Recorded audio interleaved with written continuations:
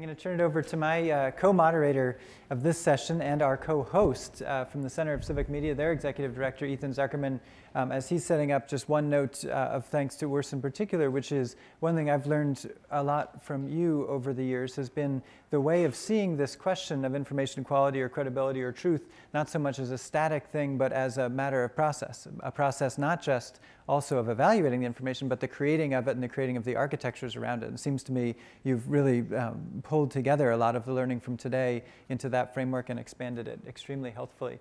Uh, over to you, Ethan. Sure. Well, um, I, I, wanted to take advantage of the fact that the, the time at the front of this room is so scarce. So I was going to seize a couple of minutes of it and offer my reflection on what's going on and then do my best to open this up to, to get more people around the table.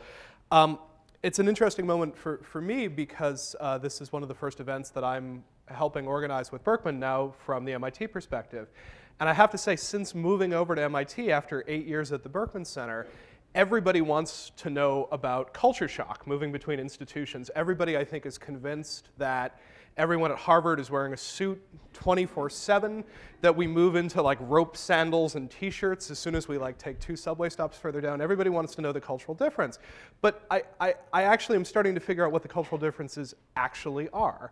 And I think one of the cultural differences is that when we take on the sorts of questions we're dealing with here, the approach of an organization like the Berkman Center tends to be to try to figure out, can we find a systemic way to think about this problem? And I think Urs has just put up a really helpful system that we can start using to think about the various different problems that come up around this general sense of, of truth and truthiness. What's great about these large systems is that they can inform the way that we end up designing tools, and we can try to get a very thorough view of an issue and then figure out how to intervene that, as I'm finding out, is not a very MIT way of doing things. And the MIT way of doing things, near as I can tell, is to say the system will come to us eventually. What we really need to start with are small experiments. And we should try an experiment that we can try over the course of a week or a month, or certainly within the context of a master's thesis. And we should see whether that gets us anywhere. And if it gets us anywhere, we should keep hammering on that, and eventually we'll get to the place that we want to be. The trick with this method, as I'm finding, is that you have to figure out which problems are tractable. So when you're looking at something as big as these questions of verifiability, truth, truthiness, disinformation, so on and so forth, I find myself now trying to pick apart the questions we talked about this morning from the perspective of tractability. So let me use that to sort of frame a couple of the conversations we've had and then a couple of things that haven't come up, and then see if I can sort of push us forward a little bit into, into where we go this afternoon. A few of the people who are around the table here today were at a gathering at the New America Foundation a few months back, and it was a conversation about fact checking. It was a great conference. It was really a good deal of fun. And what was interesting, uh, it, it, it's under Chatham House rules, so I can't actually credit any of the bright people who said anything there. I can just tell you wonderful things were said by wonderful people. But one of the wonderful things that was said by a wonderful person was talking about fact checking using a particularly gory metaphor. And the metaphor was that misinformation gets out there, it's like being shot. And so far, what we know how to do is come in three or four days after the fact and try to bandage up someone's wounds, right? So we go through a political speech, we go through a debate, someone says something that's blatantly untrue, it circulates in the media for a while. Three or four days later, someone comes in with a fact check, and we're basically trying to staunch the bleeding of all of those various harms that are out there from the disinformation that allow us, through motivated reasoning, through cherry picking reasoning, to, to pick the facts we want to make our arguments. And the thought was maybe we could do slightly better. Maybe we could get to the point where we got a bulletproof vest. This isn't actually bulletproof, it isn't why I wear it, but you can imagine sort of the bulletproof vest for truth would try to sit there perhaps in your web browser, perhaps on your TV, and when that bad information came out there, it would jump up, it would block you, you'd still get hit, you might get a bruise, but you wouldn't bleed. You know, the information would somehow get countered very early on within it.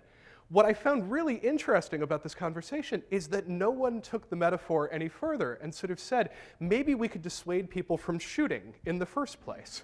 You know, could we get people to stop saying obvious mistruths? And that appears to be in the realm at the moment in current political climate, current media climate, well within the realm of the intractable.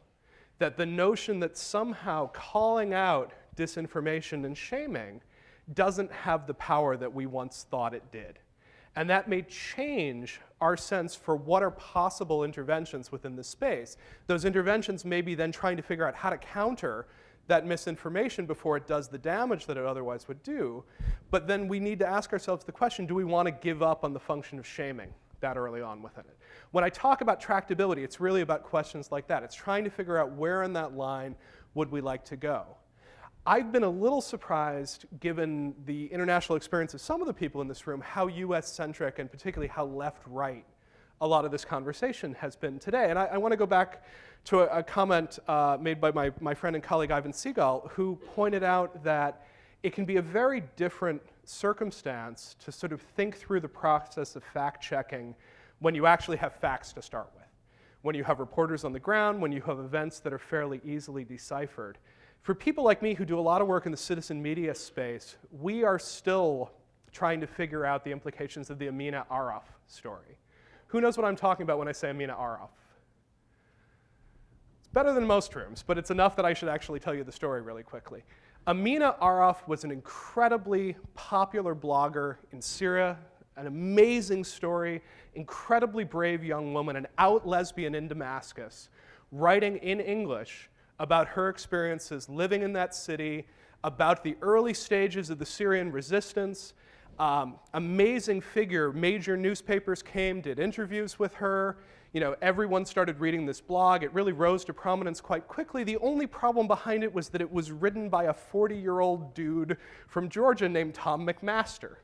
And he had carefully constructed, over the course of years, an online identity that allowed him to have his voice heard because as a middle-aged white guy, no one ever took him seriously, and obviously he wasn't very well represented in the media. So by becoming a Syrian lesbian, he would have the chance to be heard in a way that he wouldn't be before. And as people started looking at this, it turned out that most of the people who had met Amina Arraf also turned out to be white dudes pretending to be lesbians, leading a commentator on the situation to look at this and say, it's fake lesbians all the way down. And the problem with this was not just the construct of fake lesbians sort of reinforcing this guy's attempt to speak on behalf of the Syrian people. It was that we were so desperate for perspectives from the ground, from Syria at this particular point in time, that media organizations that should have known better were extremely receptive to listening to this particular voice. Now, again, when we deal with the realm of intractability, we deal with the difficulty of the fact that you have a genocidal regime trying to systematically kill off their people that's figured out that killing off journalists is a really good way to keep this going. That's probably not a problem we can solve within this room. But figuring out how we cross source and figuring out how we try to find identities that rise surprisingly quickly and that we should have certain suspicions about is a place where we might find ourselves able to try to design and develop and deploy some tools. So for me, the bad news of this morning is how many of these problems, for me, probably fall into that intractable side of things. I think a lot of what we're talking about, whether it's the influence of money in politics, as much as I love my friend Larry Lessig, I am not tremendously confident that we're going to strike at the root, certainly by 2012. But it also strikes me that what we've gotten this morning is an incredibly helpful set of tractable questions that have come out of all of this. Little experiments that we can actually try in the world and try to have a sense of whether or not they have an impact.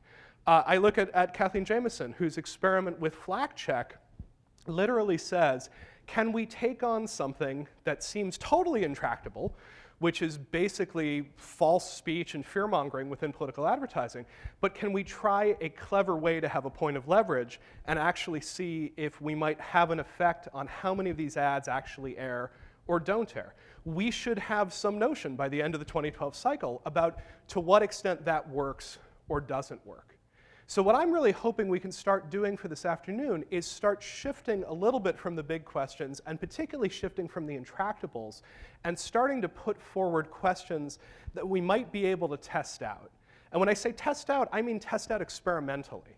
Where we're hoping to go tomorrow on this hack day, which we'll talk a little bit more about in the conclusion, it's not really a traditional hack day. A traditional hack day is a lot of guys like Gilad Lotan who write code in their sleep, sitting down with a data set and trying to build some new tools around it. And we just don't have enough Gilads to go around for tomorrow. What we do have, which is an amazing asset, is we have a whole bunch of people coming from some very, very different perspectives who are thinking really hard and deeply about these issues, who can come together and think through some of these design challenges. What is a question that we want to test in this space of truth and truthiness? How would we set up an experiment to test it? Either by organizing and trying to conduct something in the real world, like an email and a, and a Twitter campaign, or by trying to build some tools that take us there. So the way that we're going to end up starting that conversation and the direction that I'm hoping that we can start shifting the frame of this discussion is to try to think through those small tractable questions. And just to give you a couple of examples of ones that have come up this morning. You know, Fil Menczer is basically asking, are there network signatures that can tell us when someone is a bot and when someone is human? Great questions come around this. Does it matter if you're a paid political activist and you say the same thing time after time again? Is it actually any different from being a bot? But it is the sort of question that we can put out and test. You know, when Susan Crawford opens with this amazing story about being able to figure out who killed the newspaper seller in the London riots, it's an open question about whether there are certain factual questions where we can immediately open it up to crowdsourcing and try to find information that doesn't exist there. So the challenge that I want to put forth is let's take the big ideas, let's get it down to smaller questions, let's start working through the frame of what we're going to do tomorrow, which is figuring out actually how we test out those questions. So in particular, if you have some way of taking the amazing material that's been put in front of us and putting it in the realm of questions that we want to see answered, uh, this is a great time to come and grab the precious mic time at this conference. So hands up if you want to jump in, please. And introduce yourself first.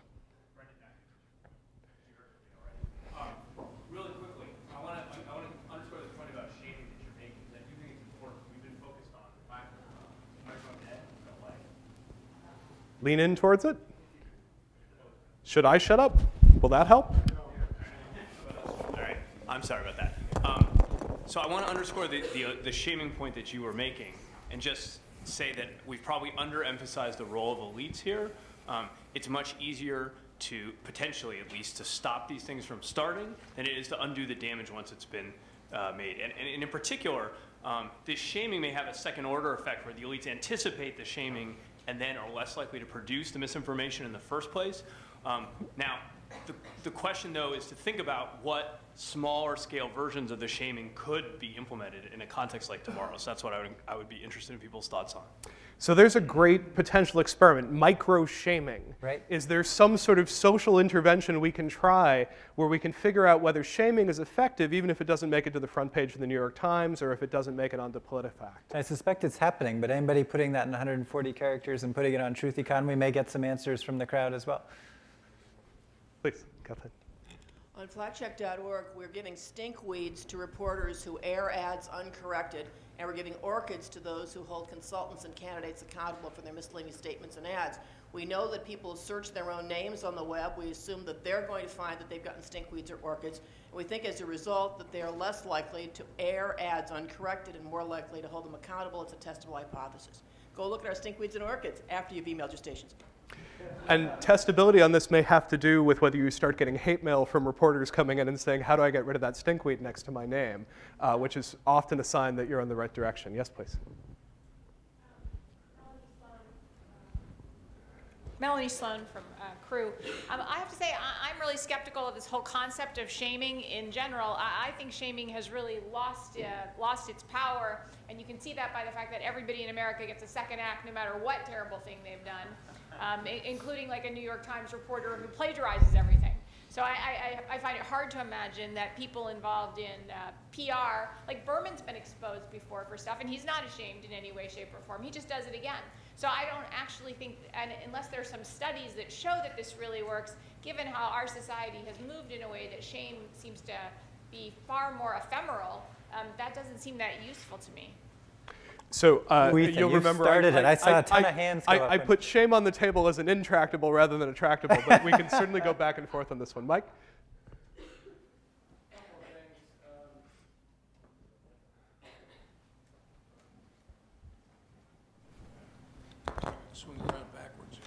I'll, get as close as I can. A couple of things. One is I agree with Melanie uh, in terms of at least my world, which is politics political consulting. Shaming doesn't work except on a mass scale. You have to get to critical mass. You have to get to a certain level of intensity before shaming works, because just, um, uh, just uh, exposing people for being frauds uh, do- doesn't do anything to their, to, to them uh, in, in, in the world of politics, unless it's become so big that, uh, that that they're, they're, uh, they're starting to be affected by it politically, economically. Rush Limbaugh's classic example. Rush Limbaugh has been doing his, his shtick for years, saying horrible things about all kinds of people. It didn't get to critical mass until this last week. Uh, and when it got to critical mass, the advertisers started going away, and he started to have, have to backtrack. But it took a, such a level of intensity before that happened. One other comment I, I wanted to make uh, that I think is important in all of this, whether it's shaming or anything else. In, in my view, blatant mistruth uh, is less of a problem than uh, the, the old saying about, uh, uh, well, I, I don't know, that, that old saying doesn't really apply. But, uh, but, uh, the, but the, but I guess my, my, my thought is that I worry less about blatant mistruth because most political consultants, most PR people try to avoid being blatantly wrong on the facts because they know they'll be exposed fairly fast, either through, uh, either through crowds or through uh, fact checkers or, or whatever. It's the folks who throw out facts that uh, are completely out of context or completely, they- they, may have a fact and have 20 facts contradict it, but it, you know, it doesn't matter. So um, I think, and that's a much trickier and maybe close to intractable problem uh, to solve. So uh, I, I should point out once again that, that uh, my point wasn't really meant to be an advocacy of, of shaming. For all the shaming comments, I would mention that ShameCon is actually three weeks from now. Uh, if you've been invited to that one, you should be terribly, terribly embarrassed. Uh, so you don't want to tell anybody about it. But you know, uh, my, my, my question was merely more this question of, of trying to figure out what are the levers that we can work with. And I actually think the previous comment pointing out that, that shame has been pretty ineffective probably puts this more into the intractable side of it, where I think there, there may be some agreement on that. I'm going to call on someone without her n- hand up, but um, who is well known uh, to uh, many of us in the room. Our Dean, Martha Minow, has actually just walked in and was going to say a word of welcome and thanks. Um, Dean Minow, thank you for coming over. Thank you all, and thank you all for being here. Uh, Do I say something like, in truth, I'm really grateful that you're here, or should I avoid that word altogether? Uh, It's it's really terrific that you're working on this very fascinating set of questions. I also think this is the exact moment when a dean walks in, when you move from the great, all the possibilities in the world to, okay, what realistically could we do? Uh, There's a wonderful movie where Cher plays gosh, somebody will remember. She plays uh, someone who's a whistleblower. Uh, do you remember? Silkwood, thank you. And she says at one point, just give me a problem I can solve. Give me the size of a problem I can solve. There's also a poet who said, comfort. That's when the storm is the right size. Okay? So I want to thank the Ford Foundation. I want to thank so many others who are here for supporting uh, not only this event but other events. And I wish you all the best, and I'm looking forward to your answers. And if not, at least the definition of the problems that you can solve. Dean Minow, thank you for coming over. It's wonderful to host us. Martha Minow is the Dean of Problem Solving. She has introduced a mandatory problem solving uh, course for all lawyers, and so she's uh, delighted that we're in that mode. Sorry, carry on. Becky? Uh, speaking about levers, um, I'm conscious this is what they call in the security export uh, world a dual purpose tool. But what about advertising? We had a situation in the UK where an incredibly homophobic op ed piece was published in the Daily Mail by a columnist called Jan Moir, and Twitter mobilized to contact the people that advertised with that newspaper. Shame doesn't work, but the bottom line might. So uh, another testable intervention and possibly a tested intervention, particularly as people look at uh, the Rush Limbaugh reaction, where a great deal of pressure is coming into advertisers via Twitter. And perhaps this is one of those circumstances where the ability to talk back is something that we can test as a method of response. Other questions, comments, please? And introduce yourself, please. Uh, Ari Rabin-Havt from Media Matters. Um, when we look at, the world of, me, of misinformation, uh, I like to phrase it as we think misinformation is most danger, dangerous when it metastasizes. So if there's a bubble of, of untruth, let's just use Fox News as the example. You know, I'm from Media Matters. Uh, uh, they, you know, they lie. They lie willingly. They lie knowingly, and they lie forthrightly as part of a strategy, and that's outlined in internal memos and other documentation. Where the misinformation we see becomes truly dangerous is when it seeps outside of, when it goes from kind of the right wing echo chamber through Fox News, but then when it gets outside of there. So if there was a test to define how to kind of put a finger in the funnel in a way to stop the misinformation from seeping out of kind of the right wing swamps, uh, just away from Fox, there's a very popular radio host named Alex Jones who spews all sorts of garbage on a day to day basis 9 11 truther stuff, that kind of stuff. But his stuff stays within his large audience, so it doesn't have a broad cultural impact. So the question is is there a way to stop the cultural impact at the funnel? So, uh, two questions there. One is whether we could figure out when information is crossing from one echo chamber into a broader space. And another question, you know, not an easy one uh, with all of our conversations uh, uh about fact checking, whether there's a possible intervention that one could jump in and then sort of put into play when it looks like something's leaving one conversation going into a broader conversation. Kai. Uh, so pick up on uh, what Mike was saying. I wonder if there is, in fact, some sort of tool or something to build that is not a fact check, but a context check.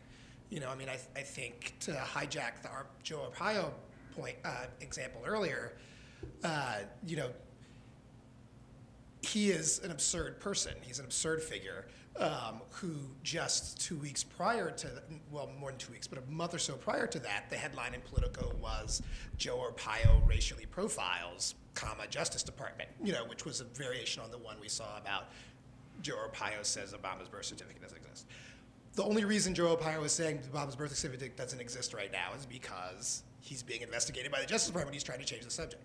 Is that so? Is there a way to like? I, I so I share Mike's concern that there's the issue about specific facts, but we get lost in the, sometimes I think in the debate over a given set of facts, to the to the to the detriment of the debate over the untruthful context.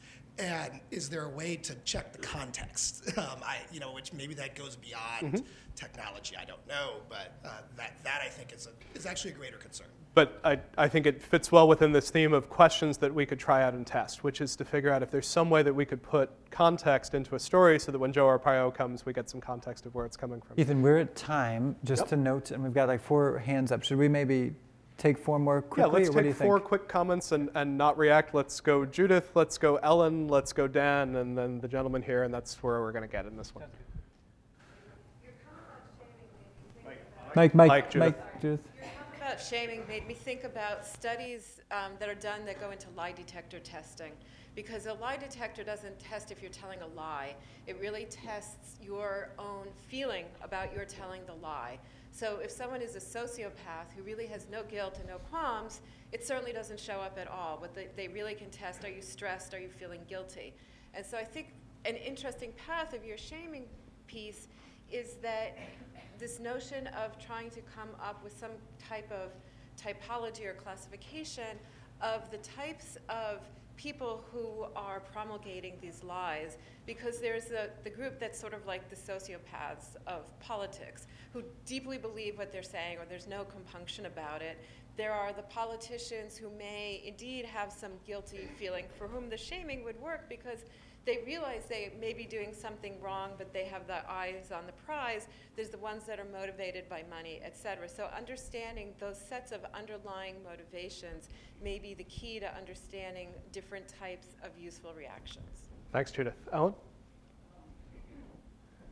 So um, in response to the, um, the notion of whether there are tools, tools that can be built that would, you know, sort of look at the um, the provenance of, of language and where it spreads and how it spreads. We've been working with um, Media Standards Trust in the UK. I don't know how many people know their churnalism.uk site. But this is a site that, that uh, has a, a database of press releases and a database of news stories.